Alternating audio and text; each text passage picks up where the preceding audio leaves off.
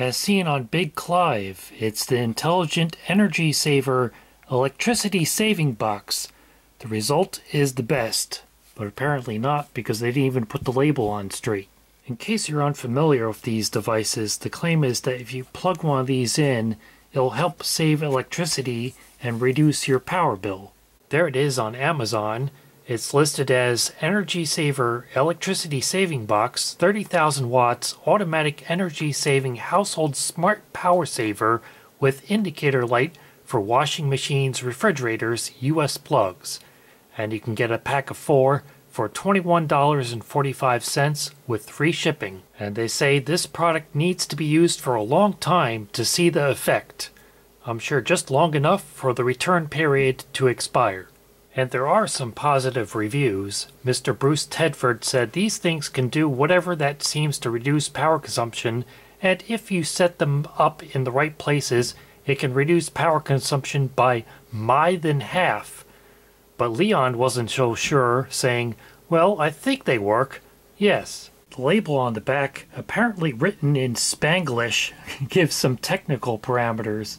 It's model SD001 the rated voltage is 90 to 250 volts. The rated frequencia is 50 to 60 hertz. The useful load is 30,000 watts. And it gives some random testing number. And it claims to be an electricity saving spikes buster. A few more signs of poor quality. One is that there is no ground prong, even though this triangular shape implies that it should have one. And also, the two prongs it does have don't have those little holes in them. And the quality of plastic molding is very poor. Has all kinds of scars on it. It almost looks like I've already tried to pry it apart, even though I haven't touched it. I mean, look at that. That's terrible. And there's something inside this that rattles a little bit. The method by which these devices claim to save electricity is actually based on a valid electronic principle, and that is of power factor correction. For example, this incandescent light bulb has a power factor of almost exactly 1, 0.99. But if I turn on this fluorescent light bulb, its power factor is much worse, only 0.51. An LED light bulb does have a better power factor, but it's still not perfect. It's around 0.81. There are benefits to power factor correction, as the book Practical Electrical Wiring explains. It says correcting the power factor not only reduces the penalty charges for power consumed, but also has many other advantages, including higher efficiency of electric equipment because of reduced voltage drop and reduced heating and power loss. So using my kilowatt meter, let's see how much power factor this magical device is able to correct when I plug it into the same power strip as this fluorescent light. So without the device, it's reading 0.52, and I'll plug it in. And it's still reading 0.52. Even after leaving it plugged in for several minutes off camera, this device made no difference in the power factor of the fluorescent bulb, but let's see about the LED bulb. Without the device plugged in, the meter is reading 0.81, and I'll plug it in.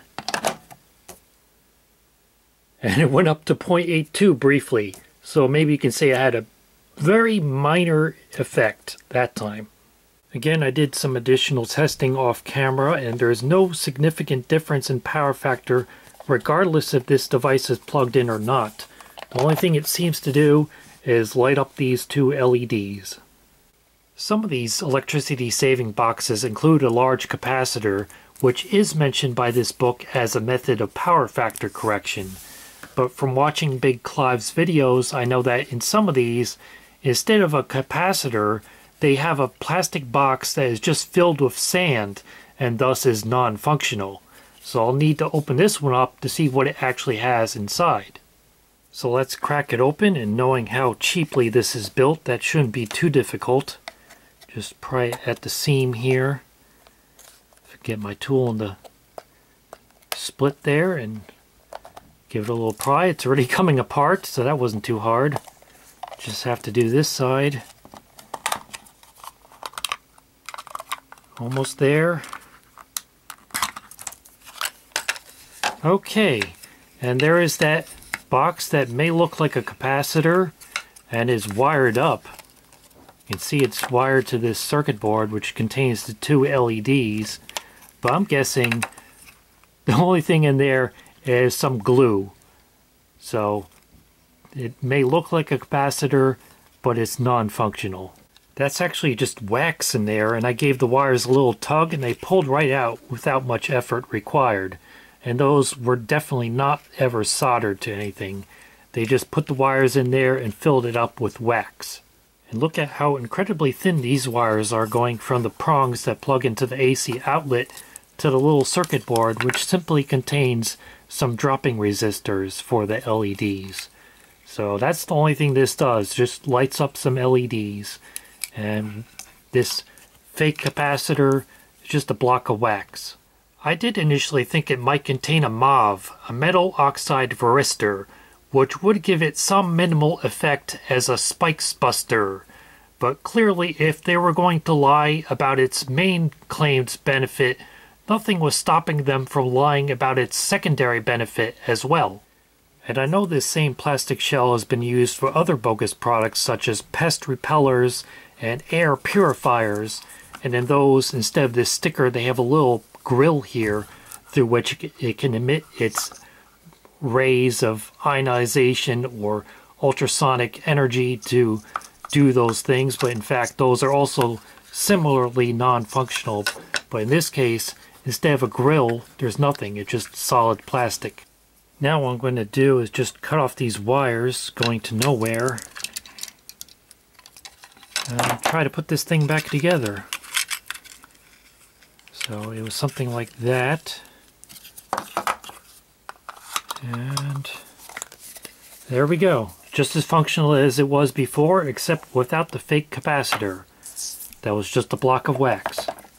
And now the electricity saving box is just as functional as it was before I removed the fake capacitor. When you apply power, all it does is light up two LEDs. So nothing groundbreaking here, it's just interesting to see that these electricity saving boxes are still on the market despite being thoroughly debunked as useless.